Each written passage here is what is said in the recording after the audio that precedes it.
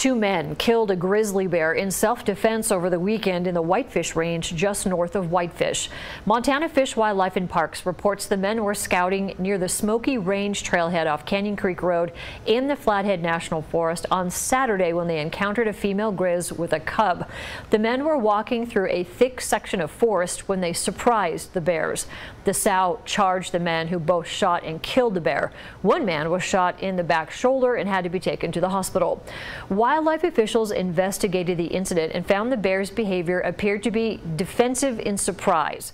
This bear was 25 years old and the incident was ruled as a self-defense situation. Officials do advise everyone to remain bear aware in the backcountry and always carry bear spray.